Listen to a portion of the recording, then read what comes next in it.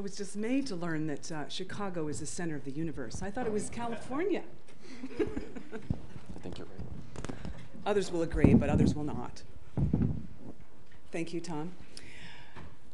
My name is Nancy Hoebelheinrich, and I, as, I, as uh, Tom said, I'm a principal for information for, for, Knowledge Motifs, which is a consulting, little consulting group based in, in San Mateo, California.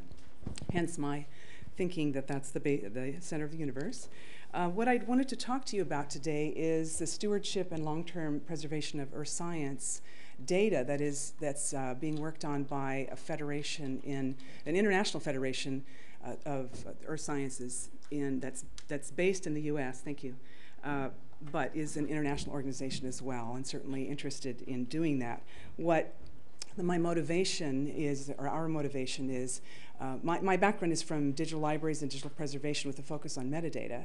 Um, and I've just recently started working with Earth Sciences data and found that this is an organization that's very interesting in, in the way it works, but also in, in what it's doing in uh, earth sciences and also cross, cross disciplines. So I, I thought that that uh, perhaps that would be of interest to this group as well. And um, we certainly the ESIP Federation is interested in developing synergies among uh, other people who are working in this area. So, so that's the motivation. So what I'd like to talk about today, uh, okay, we'll do this. Do I need that? Right hand button did not work. Did not. Oh, right. I went left. There you go. Wrong way. okay, so what I'd like to talk about today is uh, a little bit more about what ESIP is and how it works, and then talk about it in terms of the activities and some of the products that have come out of the uh, organization, uh, especially in the data and informatics area and in education and outreach. And, um, and then talk about some of the collaborators we're working with as well already in, in the States and other places, and then, and then ask about synergies with some specific ideas. So, um, can you hear me back there, by the way? Everything's okay, great, thank you. All right, so uh, this, this is a, uh, a very interesting slide that you can't read, of course, but what it shows is that the Federation, ESIP Federation is a knowledge network for uh, all those people who are interested in setting up science data infrastructures, for, especially for, uh, for stewardship and also for access to, to science or science data. It's definitely community driven. Uh, it's a membership organization, although you don't have to be a member to be involved in it. It's voluntary. Uh, it's it, again distributed. We've heard about distribution uh, uh, already in a couple of the presentations. So it's it's distributed not only in terms of geography, but also in terms of uh, topical topical areas and functionality. And it's very open. It's a very uh, collegial and, and, and neutral, neutral organization. Participation is something that's very valued, and collaboration is something that's very valued. So the organization is interested in learning about uh, what your expertise is as an individual coming in, but you also represent an organization quite often. Um, they're, they're interested in leveraging all of that experience and encouraging a free flow of ideas. So, uh, and exposing, being exposed to other kinds of opportunities. So it's, it's really a very interesting collaborative environment in that way. It started in 1998 by NASA, which is the uh, National U.S. National Aeronautics and Space Administration. They were it was it was uh, formed in response to a National Research Council review of the Earth Observation System Data and Information System, or EOSDIS, and uh, that organization, the National Research Resources Council, wanted NASA to develop a, a new, a distributed structure that would uh, help that infrastructure build. So instead of re relying only on NASA to really start opening up, because obviously Earth science data is, is, uh, is more than, than one geographic location, one, more than one organization. So that was the, the, the interest. They're also interested in uh, observation and research, because a lot of these folks are, are, are, all scientists, of course, and then um, application and education of what, of what the information is that's been found. The areas of science are, are fairly broad and includes atmospheric, climate data, terrestrial oceanography, hydrology, environmental data, geology, and ecology. And uh, there, there, are applied sciences that are part of it as well, including air quality uh, research, water resources, natural disasters, and carbon, carbon management. The members themselves are um, of four types. There are the big types that are, uh, are called Type 4 that are sponsors, and those include at this point NASA and NOAA, the Oceanographic Information uh, uh, Organization in, in the States. And then other types are uh, Type 2, which is, or Type 1 rather, which are uh, the agency data centers.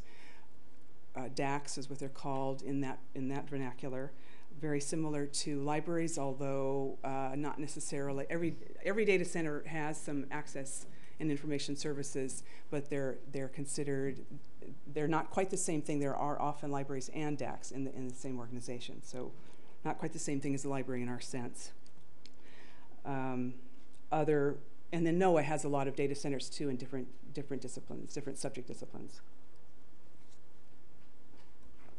Type 2, re- are, uh, type 2 members are researchers and developers, including uh, people from academia and government agencies, government labs, and then type 3 are application developers in commercial, nonprofit, and educational.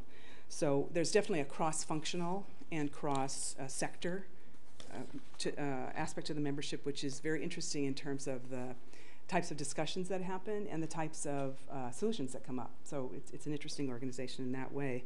And as I say, it's uh, the, the kinds of things that we that the group is working on are uh, very often in, in the f- terms of uh, in uh, data informatics and data science. So I'll talk about some of the specific areas in a, in a second, but um, I think it's important to recognize that that the organizations are uh, that are involved are, are cross-functional as well. So there are science organizations, people creating science, people doing technology, people involved in education, and then uh, researchers or, or, users of the, of the data as well. So uh, the way that it works is that there are a number of different kind of avenues of, of, of involvement. There are in-person meetings that happen uh, twice a, a, year. There is a commons area where that's just new, actually, where a, a lot of the products are will be are and will be available for for public consumption. There are telecons and web, uh, WebEx meetings that happen all the time in different subject areas, and and then the the organizational part are clusters, what they're are called clusters, uh, committees, and working groups, and those are they've got a governance structure that that works to make those more and uh, more formal to less formal. So, um, what what is the, one, one thing I should say about my slides, there are a lot of information on these slides. I'm not going to cover all of them in order to get through, but there's a lot of information here to come back to if you want to look at this, if you're interested in some areas. So I'm going to just kind of gloss over some of these rather than, uh, than cover all of them. What I wanted to emphasize in this, uh, this slide in terms of what ESIP does is that uh, there's a lot of emphasis on uh, testing different solutions, and uh, professional development, creating opportunities for people to learn more about data management, for instance. That's one we'll talk about in a, in a minute. And outreach, uh, especially to uh, different professional associations and to international organizations. So you can see GEO is there, and GEO is a, a group on Earth observations, and is is ISRISI is is an international symposium on remote sensing. So you know there are efforts to find out what other people are doing in, in around the world, and as well as uh, com communicate what's happening through ESIP.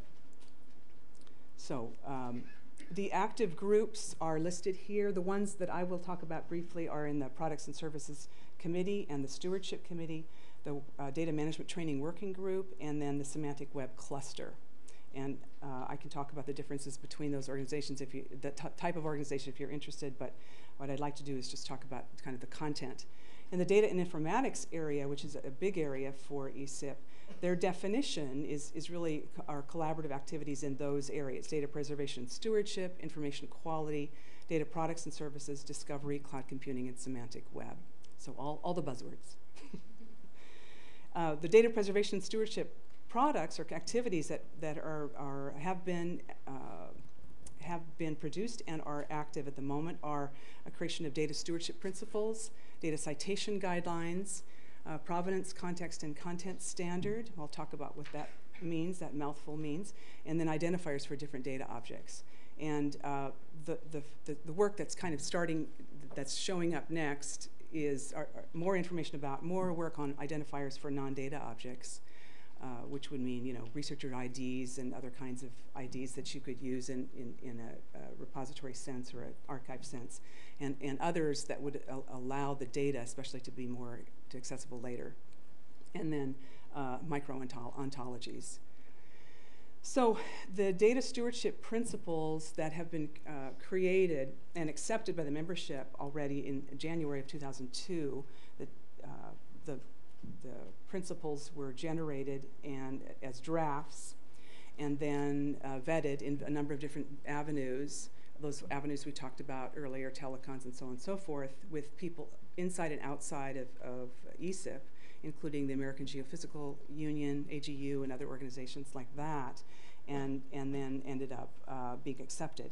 So the focus of, them, of, the, of the audience for the pr- principles are for data creators, intermediaries, and users. So inter- intermediaries would be the kind of people, you know, we are here at the Open Repository, so people who are managing the data and and acting as an intermedi- intermediary between the creators and the, the users. And what I've got there in, in completely in illegible type is uh, are just some kind of catchwords of what, what those principles are that are being suggested or recommended in the guidelines. So if you're interested, uh, the, the, the URL is at the base there, and you can go look at them. They're, they're quite interesting, actually, to see what kinds of things uh, there have been recommended for, for data stewardship. The second thing are data citation guidelines, and this is something I've heard about a couple times. Uh, uh, not citation guidelines per se, but but the recommendation to create citations or create D- and create DOIs for uh, data. This is something that again was accepted by the, or- organization in January of, of this past year, and they were again vetted in a number of areas. They were initially based on uh, some existing best practice from the International Polar Year citation guidelines, which were created in 2008 and then uh, you know have been built on, on since then. They were iterated within the data stewardship uh, cluster and then committee, and then uh, AGU and other venues at that time. The key elements are the kinds of things that you would suggest, uh, uh, surmise would be in a citation, author, date, uh, title, version, et cetera, et cetera. And then um, also in the guidelines, which I think is, is helpful and interesting, is a mapping of those, of what's recommended to the FGDC, the Federal uh, Geospatial Data Committees, metadata, uh, and ISO 19115, another acronym, another number, uh, which is the, the later metadata recommendation for geospatial data, and then DataCite, the DataCite, uh, which are, is the organization that's behind DOI, partly behind DOI. And what's interesting is that after that, this, the citation guidelines were accepted and, and kind of starting to be promulgated, uh, one of the things that's happened recently, people may know, is that Thomson Reuters has just unveiled uh, or, or announced a data citation index that, that in June they announced this that they're, they're actually going to be uh, building a data citation index that will make use of the citations that people create for their data. So, so there's hope for those, those who care about that. Nice to see progress. All right, the next thing then is um, this, this mouthful provenance, context, and content standard, which is still in process. And uh, basically, what that is, is a way to define what kind of documentation would be useful to keep or create, if it's not already created, for a data set uh, in order to preserve it long term. So it's, uh, it started out as a, on the left side, you'll see a, a, the context, context matrix was created, which was uh, basically a spreadsheet of all kinds of um, types of information, uh, types of, of data that you would, you would want to uh, collect, and then how you would document that, you know, using um, a list of, using what kind of uh, doc, uh, documentation you would create and have uh, in order to produce it. So I'll give you an example here. It's initially started based on input from NOAA and from NASA, NASA's work that was done in 1998 uh, to, to document the same kind of thing in the discussions that have happened in, in other organizations, NASA organizations, particularly related to different instruments, mission instruments, uh, sensor instru instruments. It was developed and posted on the, the data ESIP uh, wiki for this organiza- this uh, cluster or this committee, and then an initial version was created in March March of 2011, a later version in June. It's now uh, in in the, in the, in the same process of coming up to a, a revision, but, but based on some work that, has, that NASA has done since then. The categories that are, are part of that contract, content matrix are, uh, as you can see, focused mostly on satellite remote sensing data, so pre-flight and pre-operational instrument descriptions, products that you get from the, the uh, data that, that's observed, any metadata that you need in order to facilitate discovery and understanding of the usage, and then any product document, documentation, including you know all the kinds of things you'd think about for a project, who, who's on the team, uh, what the processing history was, what the algorithms are that they're using for putting the data together, et cetera, et cetera. So uh, they're also based on use cases. They've got a couple use cases that they created, again, that were generated from the, the NASA work in 98, and then other use cases that the data stewardship group came up with. Um, and uh, then, and those are, some examples of those are on the right side there. Scientists choosing a data set from multiple data sets or obtaining, how would you obtain a data set? Uh, and reproducing a data set. So if those are the kinds of things you as a researcher were interested in doing, what would you need in order to find that? It's basically are basically the questions. And so what has happened with that as a, as a result of that work is that um, NASA has come up with a content specification for their data that was published in November uh, 2011 and accepted by NASA that again was focused on earth science data resulting from the missions, NASA's missions. Um, it includes a reference to separate metadata requirements. So there's, they make a distinction between documentation and metadata different, differently than, than a lot of uh, disciplines do. But uh, metadata meaning, again, related to discovery and usage requirements and, and documentation of, of other kinds of metadata. But the categories were in eight areas, as I said. You can see them listed there. Perhaps you can see them listed there. Um, but for example, pre-flight and pre-operations, calibration, science data products, et cetera. But the thing that's interesting is it also includes the rationale for all of those, why this should be there. So again, as an example, um, for pre-flight, the item description uh, would, would be, the things that should be included would be numeric files of instrument sensor characteristics. And you know, there's a further explanation of what kinds of things that should be part of that. And then the rationale at the end there you see is that those measurements made before you deploy the instruments or help establish a baseline. So that kind of thing is important, a baseline for, for the data. So that, that's a specific example of, of you know, how that work has come to some real fruition. And again, uh, it, what happens with it in terms of coming back to ESIP is that it, since it's all, those kinds of things are only focused on remote sensing, they're really we're, uh, the group is interested in developing broadening that to other kinds of data as well. So we'll see see how that works. So uh, another project that we're working on are identifiers for data objects. I'm going to kind of skip through this a little bit. Um, there was an initial work based on an initial kind of an ab abstract research project, uh, research analysis of which ID schemes would be useful for data objects in uh, for a couple of purposes: unique identification of data unique location of data, and then citable location and scientifically unique identification, which is kind of a very interesting area and actually was very difficult to prove. It hasn't really been proven, but that those are the four different use cases, and they came up with these eight uh, ID schemes that that they thought would be uh, best to, to consider, and were assessed, and then made recommendations on those. Um, they they came up with categories of characteristics in technical uh, the technical value, user value, and archive value. And then they had a number of questions in each of those areas that they asked each of those schemes to see if they could be answered. Those are examples of, of what some of the questions were. Um, and then the second part of it, though, was what, what they recommended, which turned out to be DOI for citable locator and UUID for a unique, uh, unique identifier. Uh, not that surprising necessarily, but they wanted to, they thought it was important that um, those, those recommendations be tested, and so have come up with a, a, a, a way to test them in an implementation. And that's in process right now. So we've got two data sets we're looking at.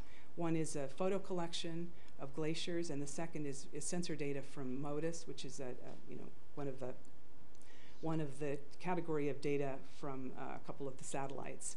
And uh, the, the criteria, those, the use case requirements are translated into testable questions. Again, this is just an example of what they are. I won't go into what those are, uh, but, but the results then will be categorized in terms of similar kind of format. How, what are those user requirements and, and what are the categories of operational issues? The, the test is really, you know, what does it take to implement these schemes and how would that affect the, the uh, recommendation of the ID schemes that they come up with? So again, those are the questions that are on the, on the right side there, the kinds of questions that are being asked. we have got two more to do, two more, um, I'm working on this one actually, you can probably tell. Um, there are, we've got two more schemes we're working with and then we, we um, we've got some preliminary findings there as well, which I, again, won't go into. If you're interested in it, you can come back and look. Um, I wanted to talk a little bit more then about um, what other one more thing that that the group is doing, which I think would be of interest to this group, and that is working with what the semantic web cluster uh, activity uh, uh cluster is doing. They're essentially creating different ontologies for different uh, subject areas. Uh, one of which is is SWEET, which is a, uh, essentially creating an ontology of different kind of phenomena. I've got a wonderful example, a, a, a contribution to the death by diagram competition that we've got going here. I learned about that this, this week. That was great. And then uh, a couple of others on data quality and quality assurance. So that's it. That's my, that's my contribution to death by diagram. It's, it's colored. I mean, that's, that's a good thing. I think we should remember that. But you can see the categories are representation of you know, uh, phenomena, matter, realm, human activities. You know, it's a, it's a big old, uh, it's, a, it's an attempt to slice what those phenomena are and then break them into subclasses. And it's, it's being used in a lot of places for, uh, for, and also got services built on it, as well as the data quality screening, uh, data quality assurance and the uh, ontologies and others have got services that are being built on top of those. So those, if you're interested in that and how those work, you can both see the ontologies and look at the services for uh, screening, looking at data and finding, assessing the quality of it for the data quality screening service. And then the other one, the multi-sensor data synergy, uh, is a way of, again, bringing your own criteria for quality to a data set, using that to screen the data as well. So they're, they're interesting uh, uh, examples of using ontologies and uh, certainly useful services for, for the researcher who's interested in that kind of data. Uh, there are other activities and projects that they're working on. You can see them here, one of which is a data server providing RDF, OPeNDAP's Hyrax data server, et cetera, other, uh, others there that are, are uh, that kind of data. And then finally, the last thing that I wanted to mention is uh, data management training short courses. Uh, given the fact that uh, people think it's very important that researchers know more about managing their data, uh, they, the, the, the, group has decided to come up with a uh, course, a, a, course, a set of short courses based on the Khan Academy, which is a, the kind of thing that you, you know, the, the real short, short YouTube or video uh, and, and, slide presentations that are available on YouTube on, on topics that fit together in a kind of sequence, so you can learn a little bit at a time. Um, people have probably heard about that, but but that concept for data management and um, there are, NOAA is giving financial support for that. It's being uh, authored by volunteers in the community, reviewed by people in the community, and then it will be uh, uh, recorded by pr professional voiceover recorder and made available. One, of the first one's up, the first one's there. So uh, these are the categories that uh, for the data management, the case for data stewardship, data management plans, et cetera, et cetera. You, again, you can look at that much more if you want to. Uh, it's, it's quite an interesting process. By the way, on this picture, I want you to notice that there is a, a not equal sign here. So the scientists are not the old dogs. Don't, don't take this wrong. Take, take this home and think that we're, we're talking about scientists being old dogs who don't learn new tricks. It's a not equal sign. Okay, good. Everyone agrees. Good. All right, so the, so the other, the other thing I wanted to mention is, you know, ESIP is working with DataONE, NSF's DataONE, and the Data Conservancy, NSF's EarthCube, you know, all kinds of, of organizations that are networks themselves. Definitely interested in, in more. Um, these are a couple of, on the right side, a couple of organizations that, you know, we know about in the States, but don't know necessarily what people are doing. Maybe uh, there's some here that have been represented as well. uh, anyway, if you're interested in, in uh, working with ESIP, it, it would be welcome. Here is more information about ESIP online. Uh, if you want to come to the meeting in two weeks in Madison, Wisconsin, you can still get in. Uh, great farmers market, I hear. So I'm going. It'll be fun. Um, and then uh, I want to acknowledge the, the NASA and ESIP people who have helped me. This is a satellite image, unfortunately not very good resolution, but it is Edinburgh. So, so there you have it. And uh, we have what? A minute for questions? Two minutes, three minutes, Several questions. if anybody has a question. Any questions? So I, I had, uh, there's a scratch. I did have one uh, question, Nancy, which is the, um, it seems like the ESIP is largely a, a standards and uh, methodology sharing approach. And from the earth science community, is there a clear trend in terms of the emergence of mega nodes or mega repositories or lots of federations of repositories, or is it still a Wild West? It's still kind of a wild west. I mean, there there are definitely discipline-specific repositories and uh, you know curated curated collections that people are gathering. There there's not.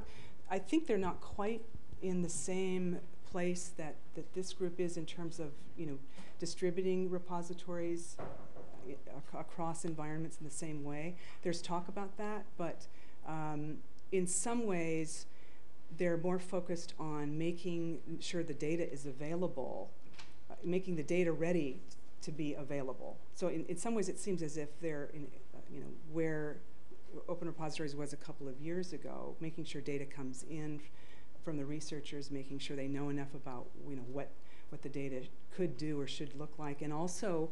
Um, they're, they're still, even though ESIP is very interested in making sure all the data is open, not all scientists agree with that.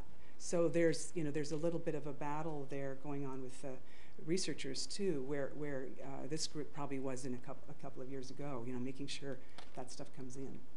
So it's not quite the same, but I, you know, there, that's one of the reasons I think it'd be interesting to, to kind of talk cross. That there are things to learn from, from both organizations. So. So, so follow-up question is how do we get more ESIP people who didn't start in the library environment to a conference like Open Repositories? Well, I'm putting up the slides, and I'm going to talk about it next week. So you know, get, and I'm sure there are people here who are working, or, or know scientists or know organizations that uh, you know serve the. I mean, is Adina is another one here, and others. If you're interested in that, or you know, want to put me in touch or contact Carol Meyer, there, there's definitely opportunity there. So Any questions? Time for another question? need to shake, stand up and shake. More coffee? Yeah. I had just a quick one, actually. Um, Nancy, I was up in DC because I'm very close to DC, talking to several agencies, and it seemed like last year there was a lot of talk about maybe coming together and having a common repository across agencies to gather different types of content. Do you have any information on if anything has been moving in that direction? I have no, I've not. I, I know that they're starting. There, there's an Earth Cube, uh, Earth Cube effort, which is to to start talking about that that kind of that topic as well as other topics related to making data available.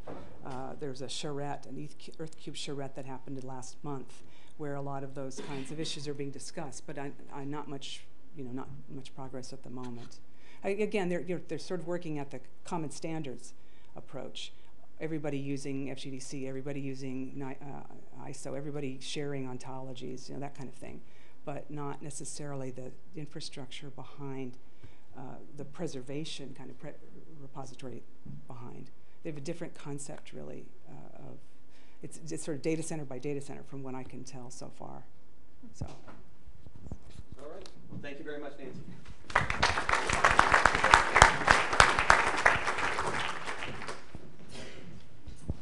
All right, next up, we have our fourth and final uh, presentation